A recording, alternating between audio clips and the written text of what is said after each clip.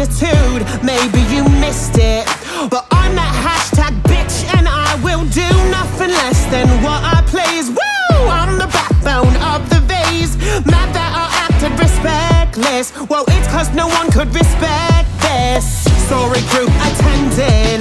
Since when are overlords too scared to fight? Your long